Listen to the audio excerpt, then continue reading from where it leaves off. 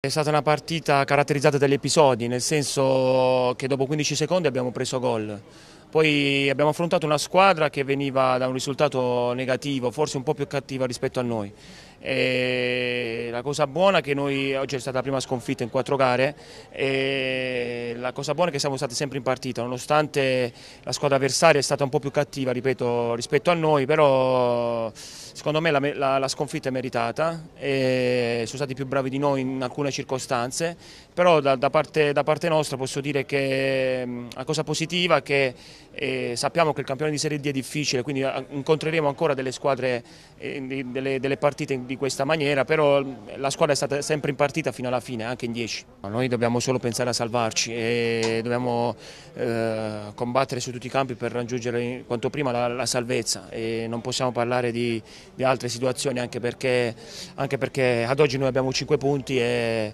e quindi mh, solo la salvezza. Ecco. Fatto, secondo me noi abbiamo accusato molto la partita di domenica scorsa contro il Molfetta, anche per, perché noi siamo una squadra che, che mh, dal punto di vista fisico spende molto, quindi qualche giocatore c'è stato meno dal punto di vista fisico, si è visto, e quindi noi non possiamo permetterci di, di giocare con, uh, con, giocatori grandi, importanti sottotono, quindi eh, dobbiamo, dobbiamo, capire come gestire meglio le forze, però nessun dramma, ecco. eh, ripeto, sta, fino a quando una squadra ti surclassa oppure una squadra ti mette sotto anche come risultato va bene, però la cosa positiva è che noi siamo stati in partita fino all'ultimo secondo anche in 10.